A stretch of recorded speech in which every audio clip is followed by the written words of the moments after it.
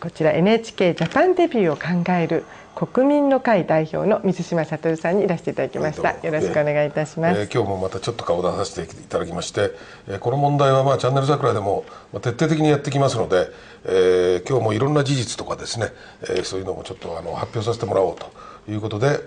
ー、今日時間をちょっといただきました。よろしくお願いします、はい。いや本当にねあの、はい、素晴らしいまた新事実がどんどん、そうですね、見つかってますんで、うん。えあのやっぱりあのいつも言うんですけどもあの変更してるぞしてないぞっていうね、えー、まあいうことじゃなくてですね事実関係でねきちっとあの追い詰めていかなきゃいけないと思います。あの実はこの離島期友の会が、まあ、このね変更問題え問い合わせたんですけど、まあ、実に無礼千万なですね、まあ、いわゆる剣もほろろといったようなね、えーえー、あの木で鼻をくくるようなね、えー、えー、答えを出してきました。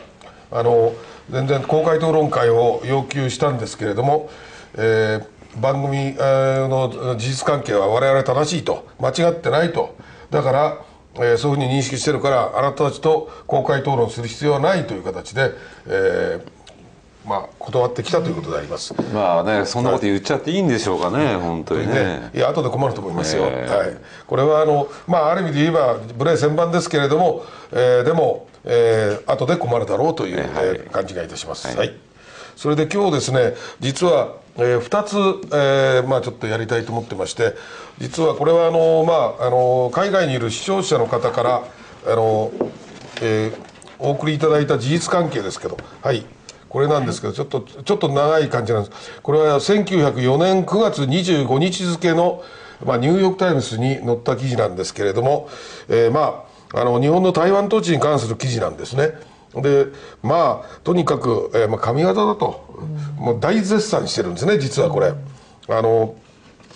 このことは、えー、例えばこれはあの、まああのえー、海外がどう見てたかいうことで NHK の報道とは全く違う、で少なくともまあこれニューヨーク・タイムズのこれデータベースニューヨーク・タイムズはもう無料でこれをね、はい、公開してるんですけれども、はい、えー、まあ日本がその台湾をずいぶん変えたと。野蛮の島みたいなね、状態だった場所を、えー、まあ、変革したということを書いてあるんですけれども、えー、えー、つまり、えー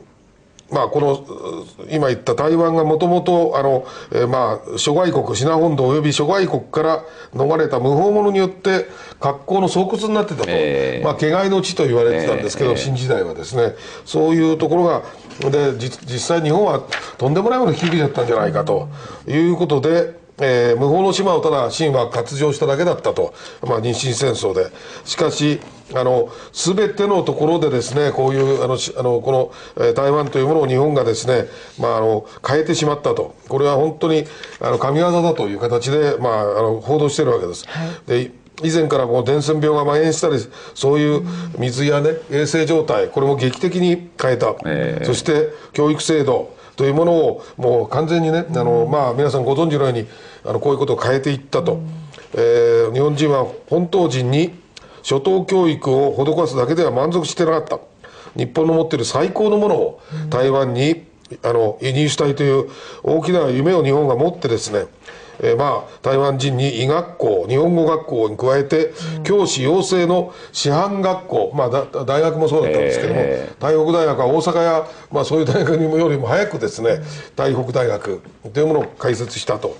で鉄道も、えー、整備したと。これは日本の国力から見て信じられないようなあの額が、えー、まあ、投じられたと、つまりはっきりと植民地とかみんな言いますけれども普通はそこからね収奪するためにお金をね、出すそれはヨーロッパの植民地ですよね。それが実は日本は持ち出しだったというね、えー、えー、いうことでありまして、えー、人口もですね、えー、まああの資源開発、まあ、日本の統治と同時にですね1897年には245万5357人だった人口が1903年には、えー、300 8万2404人に、まあ、増加している、まあ、約1.5倍ぐらいにですね、はい、この短い期間にですねなっているということは、えー、衛生状態、衣食住、えー、こういうものがね、急速にこの、まあ、整ったということであります。まあ、こういう記事が実はニューヨーク・タイムズで大絶賛されて、えー、日本の植民地統治がねあのなんだかということで NHK の番組いろいろ批判してましたけども実は大変も大絶賛されてたっていうのが、えー、実はニューヨーク・タイムズという、まあまあ、権威ある記事あの、まあ、紙面にですね。これあのロンドン・タイムズがあの書いた記事をそのニューヨーク・タイムズの記者が、まあ、紹介してるわけですよね。紹介したわけですよ。それだけ要するに欧米人の間でね、はい、驚くべき事実だっていうことなんですね。これロンドン発ですもんね、これ。これを読んでね私感じたのがね、これあれですよ台湾統治始めてから10年も経ってない時なんですよ。1904年ね。それで白人たちがですね台湾の統治に全部その失敗して植民地下にですね、もう手を焼いていたのになんで日本はこんなにこんな素晴らしいことができたんだっていう驚きがあるわけですよ、ね。神業としてね、ええ、あのだからあの NHK 報道したようなですねあの一等国になるためにね、無理してなんかひどいことやったとかね、いうニュアンスとは全く違うとんでもないですね。あの、とんでもないことですね、本当に。まあこういう事実もどんどん突きつけて、これは果たして読んだのか、これ結構知られてる人は知られてるんですね。えー、ただこういう記事もちゃんと調べて植民地統治のねことを言ったのかというともう全然ねあの言ってないということでまたもしかしたら意識的にこれを無視したのかも分かりません。はい、はい